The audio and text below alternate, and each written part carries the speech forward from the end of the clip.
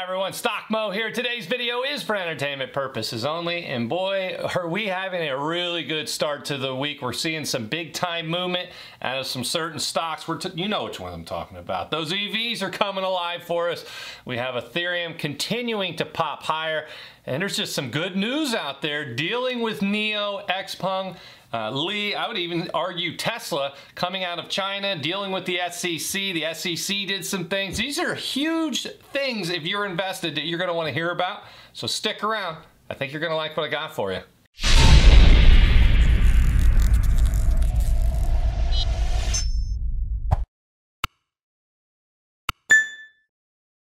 For those new to the channel, I am Stock Moe. All I ever ask, hit the subscribe button, absolutely annihilate the like button for me. Hit the bell for notifications, hit all.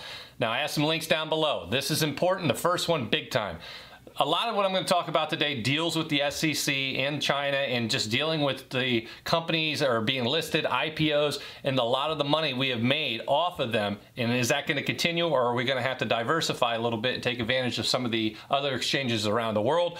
I don't want to wait and find out, so I'm already stepping up and I have an account over at Moomoo and I have the link down below. I highly recommend taking advantage of it. They give you access to the Hong Kong exchange as well as a few other exchanges outside of the US as well as full US market. So you got that going for you.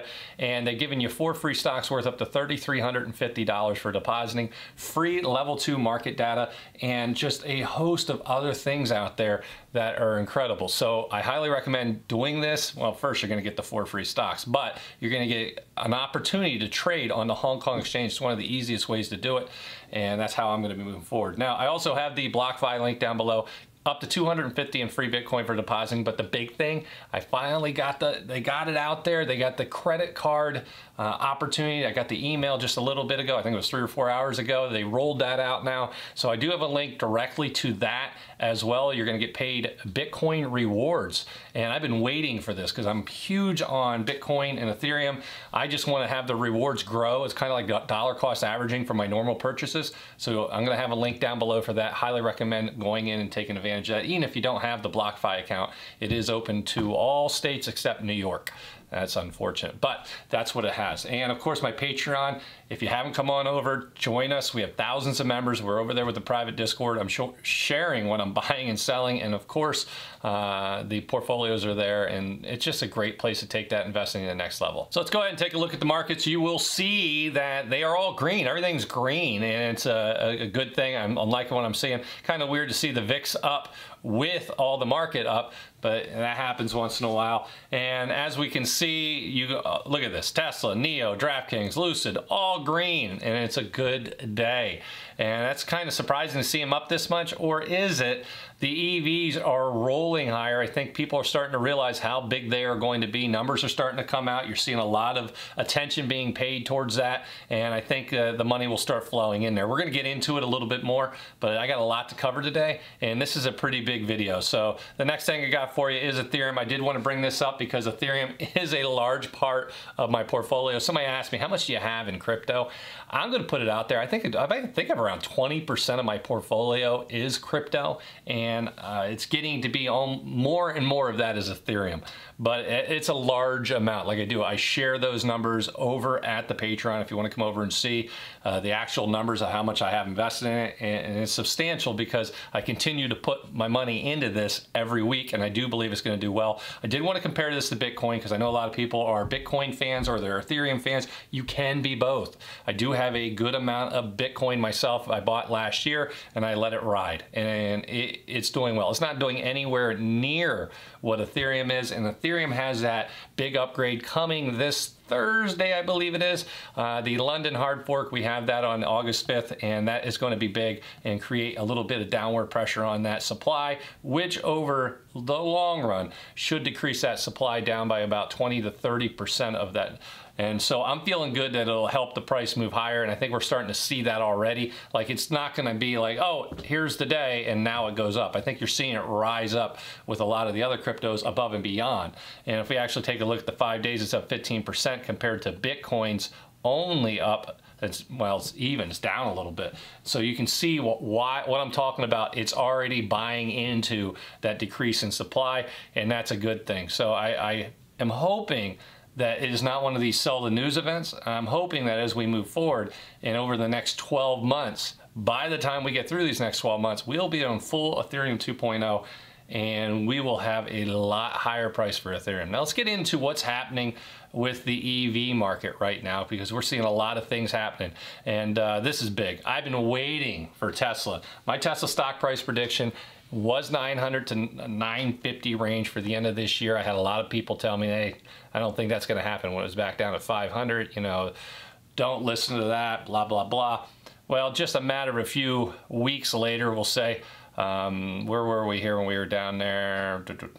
Uh, we were down here 572 June, first week of June, and we have now rolled up about 25% on that. I felt confident that that was a very that was the floor down here. And retested the lows did not go down and you can start to see that you're going to head higher. Now the question is how quickly will we get to 900 it's not a question of if we get there we will get there.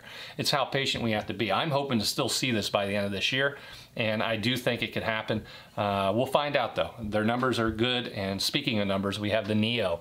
NIO came out with the deliveries for june and based off of that you can see it started out actually uh, down a little bit, but then it rallied really quick and it popped up here. We're in 46.34 and I continue to tell you, I like NIO for the long term. I still think NIO can get to 60 to $70 a share by the end of the year and even more so now. Why do you say that, Moe? Well, first, let's just get through the numbers. I'm going to talk about what the government's talked about with China and the United States have finally came to some agreements and that this is bigger than you would know.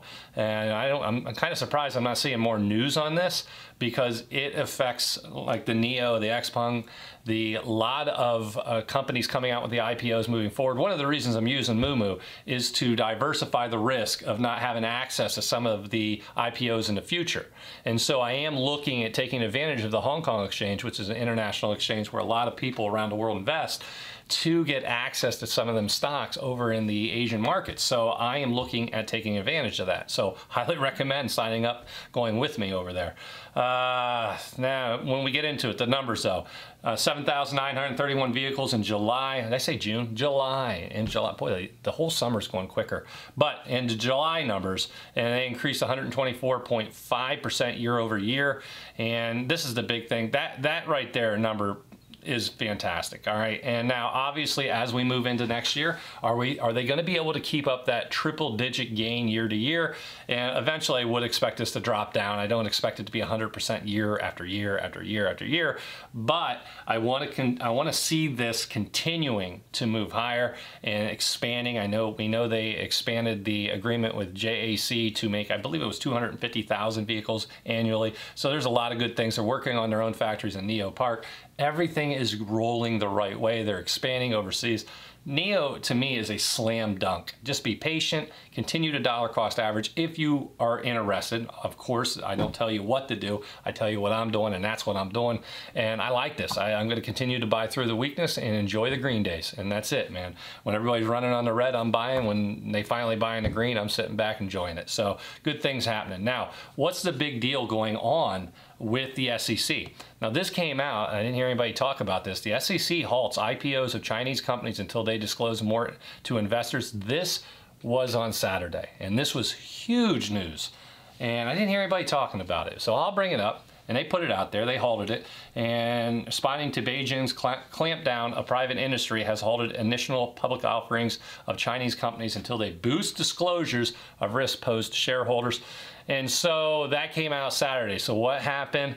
Uh, moving forward, uh, we had China come out. Ch China Securities Watchdog seeks closer cooperation with U.S.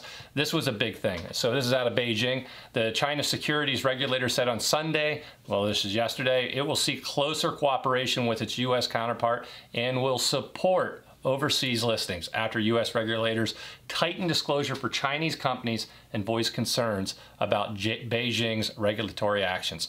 So um, as we get into here, that uh, the China, the CSRC, the same thing as the SEC here in the states. Uh, had taken note of these listings and that the two sides should uphold the spirit of mutual respect and strengthen communications on regulating China-related stocks. So if you have been concerned about the crackdown in China and everything else, the U.S. kind of came out and just said, look, this is the way it's going to be. Either fall in line or it's not going to happen. And we need to work on this and get this to happen. And we want to know what's going on with these companies for us investors and the states who are buying them. And basically, uh, it was a big red line. And, and they didn't want them to walk over and they didn't. And so china reached out and said look we'll work with you on this. Let's make this happen. And at the end of the day that is why you're seeing a lot of the stocks roll up higher uh, because that is a, a, very good thing to see cooperation if you own these stocks.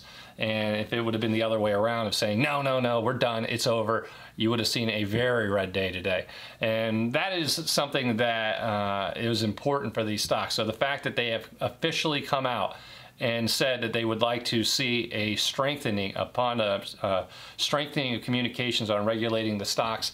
That is good news. That is a positive move uh, forward for those in these uh, foreign stocks. And so if you have Xpeng, Li, Alibaba, Tencent, a lot of the companies, you might look and say, well, I don't, I don't have NeoMo.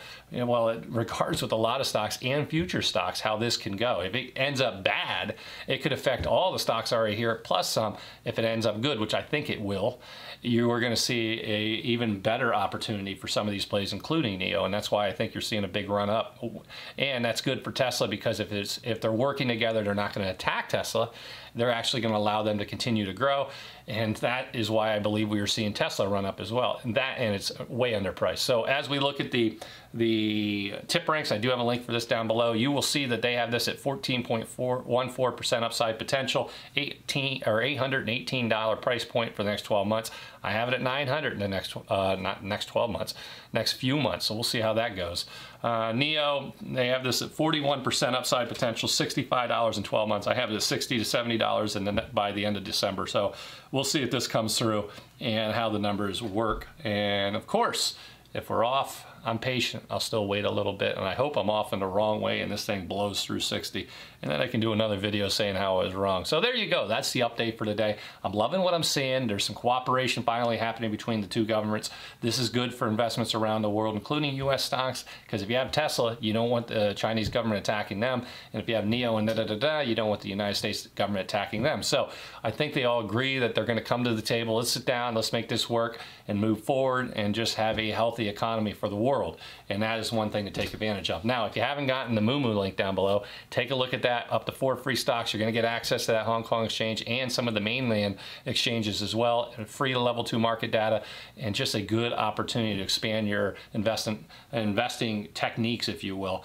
And I do have the links for the BlockFi. You get up to 250 in free Bitcoin and now the credit card. I have two separate links down there for that and of course the TipRanks and my Patreon. Come on over and join us. It's a good way to give back. I appreciate you stopping by. Let's get out there and make some money.